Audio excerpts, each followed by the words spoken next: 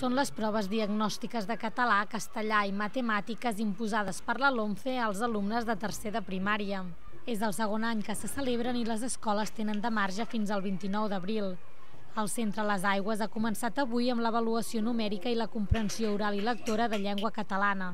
A diferència de les competències bàsiques, aquestes són de correcció interna. El centre el que fa corregir-les, eh, treure conclusions i a partir d'aquí tens capacitat de maniobra durant 3 anys per poder incidir en els aspectes que, que han sortit més fluixos. I tot i que no és el seu cas, hi ha centres en contra d'aplicar un model d'avaluació pedagògica únic.